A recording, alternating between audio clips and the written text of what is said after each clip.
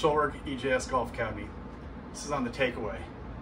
To me this is the most important move. Just It starts your golf swing, it sets you in motion for what you're going to do. Rare to find a really good player who has poor takeaway. Now I always say this caveat, you may say, well I know somebody who does. Sure, but is he really consistent? And what is, we always have to find what is really good. Everybody has this thing in their mind that, well if you're two handicap you're really good. I guess it's whatever your standards are, right? But my thing is this, consistency is key. If you're constantly going like this, you have to do more with the club head. When it's behind you, you're gonna have to have probably a higher rate of closure. A whole bunch of things are gonna be different. And most amateurs go like this and then it's back over the top. So to me, getting the takeaway down started with our body, sets everything in motion to work out after that. Now, I feel like I have really good knowledge on this, not only that I teach about it all the time, but that I struggle with it. Um, you know, just from doing it for so long, growing up, um, and not knowing about it when I was young. You know, I used to think we were supposed to whip this thing inside to get started. And I would get way in here and wonder why I couldn't get out. I'd be in the rough back in uh, St. Louis where I grew up, and I'd wonder why I can't get out. Well, I was coming into it like this. so away from the inside. So I would take inside and come back still inside. I wouldn't go to the top, but still going on the top would have helped me with those shots, right? The uh, thick rough shots. So, bunch of different ways to fix your takeaway, okay? Um, tons of different drills. But what they all revolve around is your body taking it away, okay? So, great way to feel it is to shove this in your belly, extend your arms, and just feel your belly taken away. The, the takeaway isn't to here. Okay, we're going this far, watch. So my hands are probably a little bit right over my right, from that angle it's gonna be hard to tell, but if you look here, let's see, probably over my right thigh about, right? Close to me about three feet, my hand about a foot.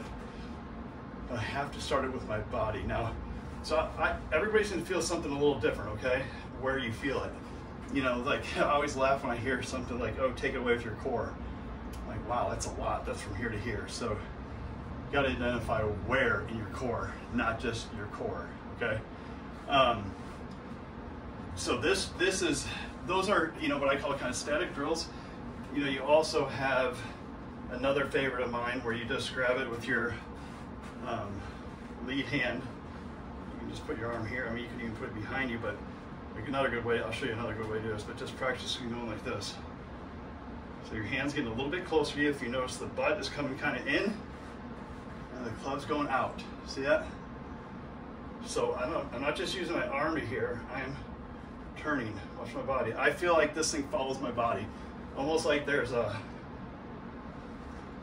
if I start it like this, like a whip, okay? So it's like, if it's here, it doesn't move kind of until this body gets going, okay? Um, my favorite live one for this, favorite way to hit balls when you're working on this is this is you get it set up like normal, right? And then just get your club out here, turn it to here, start your backswing. And you're gonna notice if you took take this way with your body, you're gonna be here every time. Look where I am. I couldn't be more perfect, could I? And I didn't try to do anything special. I just turned my body. So here, I get over the ball, ready to go. I just push everything forward. Oops, right there again, huh?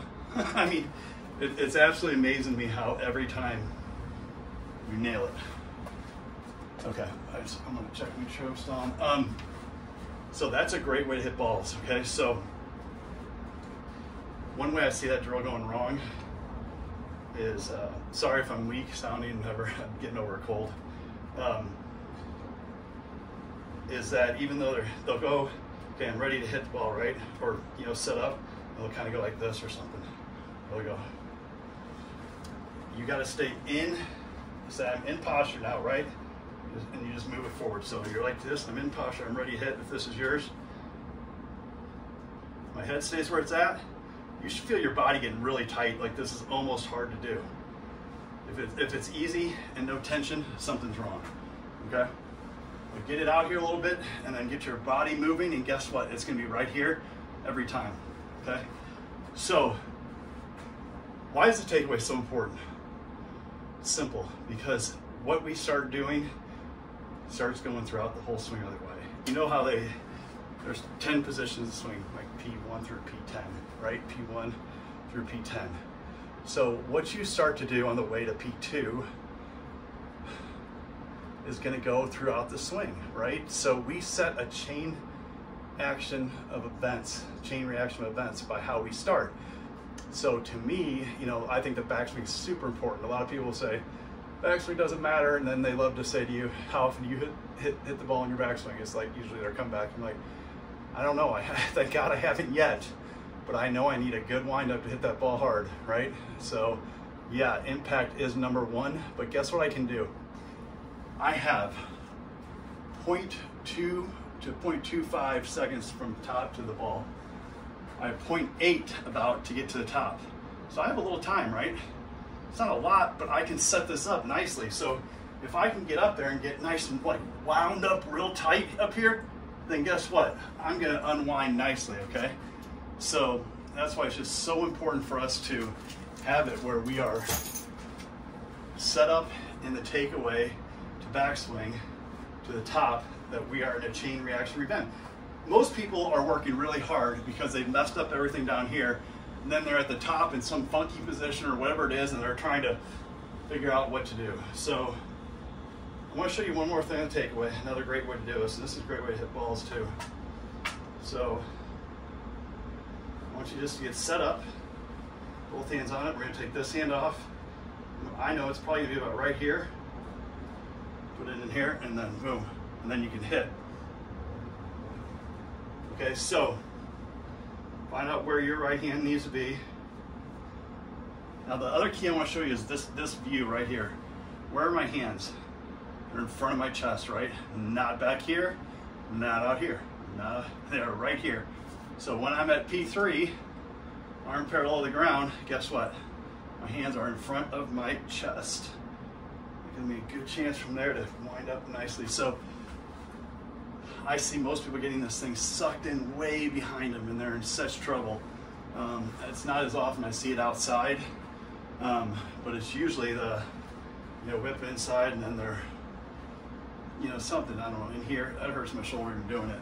And I tell everybody, you can do that now. I don't know what you're gonna feel like in 20 years, but you never know. Everybody's different, their bodies may handle it fine. So, takeaway, super important. I gave you a few drills um, to work on it with. I'd work on the static ones quite a bit to get the feeling, and then I would try to transfer it to the this you know dynamic where you know you're like here every time, and then I would have I have mirrors, so I guess it, you're probably what are you looking at all the time? You Got a mirror there, a mirror here. So I have that way, and you guys need some mirrors too, so you can check. How, how else without feedback you know if you're doing it right? Like those of you who've been following me over the years, you'll know that I say, if you're not using any feedback, you're just exercising. And that's not a critique of anybody, okay? That's just the truth. Because how do you know if you're doing it right? You can't count on feels. Feels, they're not real most of the time. We're feeling something totally different. So you have to have a form of feedback. If you don't have this mirror set up, mirrors are cheap.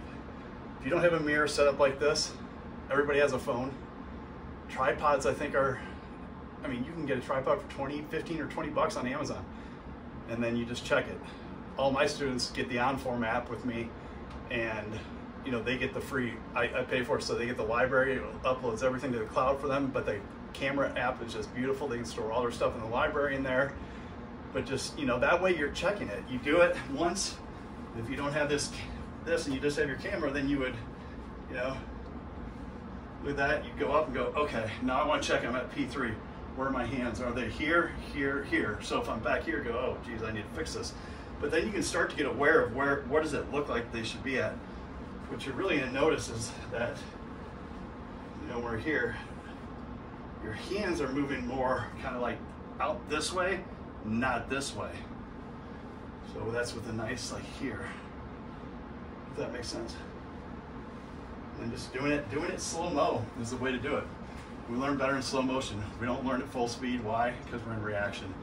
So, so if you're making a big swing change, let's say you get whatever it is right one time, you go, okay, I'm gonna try full.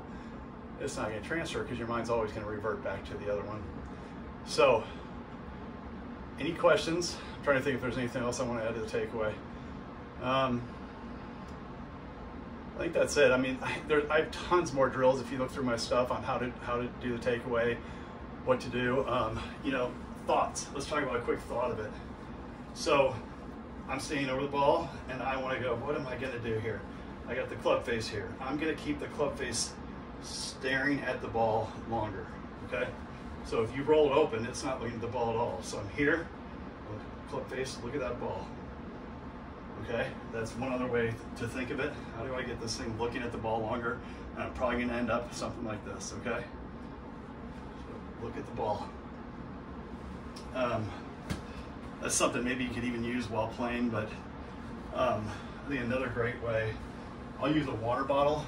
I don't have any right here with me, but something a little heavier probably, but you can also use a ball, uh, golf ball. So if I go like this, I like the heaviness of the water bottle, water bottle, but if I'm here, I'm ready to go. I make sure I push this ball for me straight back. So you can think about, imagine if the water bottle's gonna be a little heavier, but I'm just like, look where I end up. So it's just something to get that feel of how do I get here? Okay, so water bottles are great. I just did it with the golf ball. You push it straight back every time. If you can do that, you're gonna be off to a pretty good start. Now remember, I see this, I'm gonna add one last thing before we close this up. I see this all the time. So, you know, you get the golfers waggle, they're like this. They're like Justin Thomas, they think they're like, okay, how is it? How's my takeaway? Looking good, looking good. First off, we shouldn't make a move like this in the swing anyways with our wrists, so don't rehearse that. Next, what happens if I make this move like this and then watch what happens, I rotate. Oh wait, now the club way behind me. So you're not rehearsing anything good when you sit there and just go, okay, I think that's pretty good. I want to get right here. You didn't move your body. You move your body, then you're back here. Now, if you want to do something with your body moving, which I, you know, I think a great one is to get the club up here. This will make it more horizontal and go here. Oh, that's a great feel. Okay.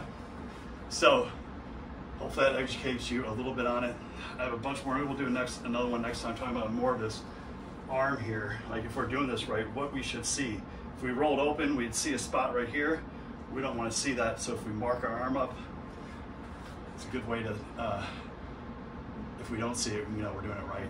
I'll show you next time where to do that. That's I think you got enough to practice here. So anyways, thank you so much for watching. I appreciate it. Um, feel free to subscribe to my channel. Um, love to have you. And um, leave a comment, question, anything. All right. Thanks again, Erik Schjolberg, EJS Golf Academy.